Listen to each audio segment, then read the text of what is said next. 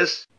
Buongiorno a tutti, buon primo novembre a tutti, spero che abbiate passato un buon Halloween, noi ci siamo divertiti un casino con eh, Remotered, ma non siamo qua per parlare di Remotered. Questo è un video relativo alle collezioni della Tana, o meglio le vetrine della Tana.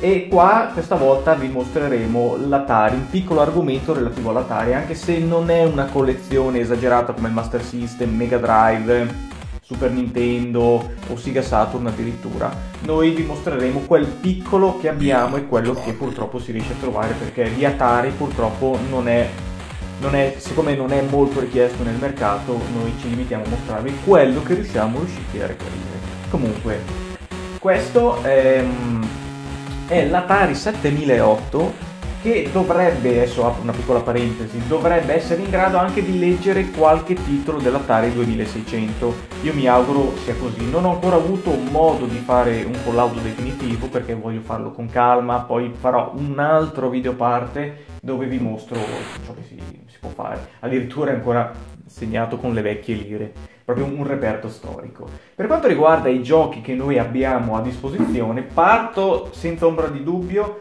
dai miei preferiti.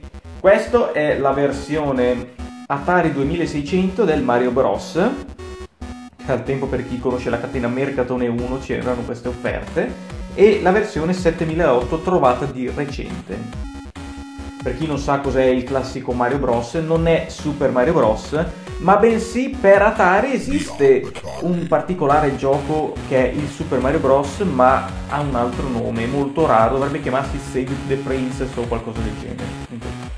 È un'altra cosa. Comunque, di ufficiale c'è il Classic Mario Bros, che era uscito sia per Atari 2006 e forse anche l'altro Atari 5002, se non ricordo male. Esiste un altro Atari oltre il 2006 che è 7008, adesso non sono un grande esperto di Atari, però per quanto riguarda determinati giochi li conosco abbastanza bene. Comunque questi sono i miei titoli preferiti, la cui giocabilità del 2006 è molto molto complessa, mentre il 7008 tende, ripeto, tende ad avvicinarsi abbastanza alla versione NES. Ovviamente direte non è la versione NES, giustamente perché le versioni Atari erano dei giochi alquanto complessi. Comunque, ciò che voglio mostrarvi anche altri titoli dell'Atari, molto bello e storico, che ci ho giocato anche con l'Atari Flashback è Galaga, con classico gioco Blast Team, la classica navicella dove devi sparare agli UFO, anche Space Invader. Forse Space Invader era quello più famoso, purtroppo a noi manca lo Space Invader dell'Atari, ma avremo modo di recuperarlo anche questo. Poi altro titolo che ho sempre cercato, che mi ha regalato Chiara nel lontano 2015, per Natale 2015, o mi sembra che ho compleanno 2016, adesso non forse più compleanno 2016. Questo è Big Doug, che da piccolo chiamavo sempre Duke, chiamavo così. Ehm, sicuramente questo è uno dei più famosi. Scavare, gonfiare i nemici, farli esplodere. Stupendo, eh? Poi anche con le scritte in italiano ha il suo fascino. Per di più avrei pagato anche una cagata, mi sembra. Perché, ripeto, i giochi Atari non è che hanno un grosso valore commerciale come tanti altri. Come adesso vediamo la pecora nera, considerata una merda, considerato di qui, considerato di là, sempre come al solito dalle persone che non ci hanno mai giocato e seguono le merde su YouTube. Chiusa parentesi. Io lo ammetto, questo gioco qua ha avuto i suoi difetti, ha avuto tanti problemi, io stesso ci ho giocato.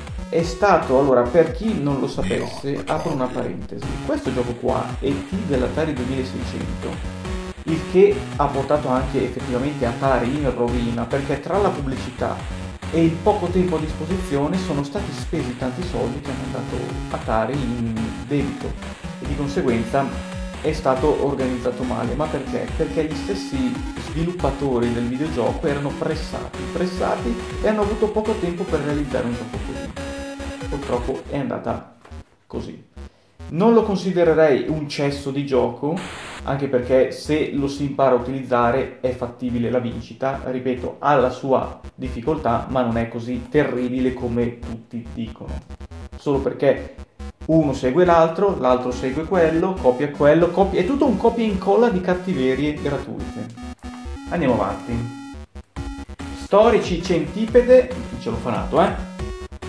Scusate, millipede e centipede stessi giochi simili praticamente adesso vi do una spiegazione, seguire un percorso molto mm, indicato per ammazzare i vari insetti che si possono incontrare. Un gioco molto carino da consigliare per chi ovviamente non ha la console, esistono le emulazioni quindi è possibile giocarci. Poi Atari Circus, 8 giochi in uno, in una cartuccia, con la possibilità di utilizzare due giocatori. Ci sono dentro 1 e 8, dagli 1 agli 8 giochi, con il classico pad Atari. Veramente stupendo anche lui. Poi Warlords, Warlords, sì giusto, è un gioco di strategia medievale dove praticamente si dovevano difendere le nostre posizioni dai nemici, dal, dall'avvento dei nemici erano i primi giochi di strategia medievale che si stavano per sviluppare, nulla a che vedere con i classici Total War che siamo abituati a vedere tutt'oggi, però è sempre questa la fase iniziale. Poi anche questo un gioco che mi ha regalato Chiara per il mio compleanno 2016. Miss Pac-Man. Adesso direte, ma che cavolo è Miss Pac-Man? No, Miss Pac-Man è un gioco molto simile al Pac-Man originale e a Pac-Man Junior dove c'è il figlio di, di Pac-Man, Miss Pac-Man è la moglie di Pac-Man, dove le cui dinamiche sono molto simili a, al classico Pac-Man. Niente che da dire che è un gioco molto bello anche lui, però tendo a precisare che questa, allora quando vedete le scatole grigie sono le ristampe, quando le scatole sono colorate è la primissima edizione, ok? Tendo a precisare questo. Poi voglio mostrarvi anche la console, giusto per darvi uno sguardo, visto che siamo già qui. È un video abbastanza corto sulle nostre vetrine, però ci tenevo a mostrarvi un po' il tutto, anche perché non ho voglia di passare per quello che non vi mostra. Adattatore vecchio per Atari 7008, il classico pad, ancora tutto con la sua custodia scatola originale, scritta Atari e tutto cavo video. In questo qua si può fare tutto ragazzi. Si può fare tutto poi infine se non dico una cagata qua dovrebbe esserci oltre alla console che vi farò vedere la pubblicità. Oh guardate l'Atari 520 l'Atari 520 con la tastiera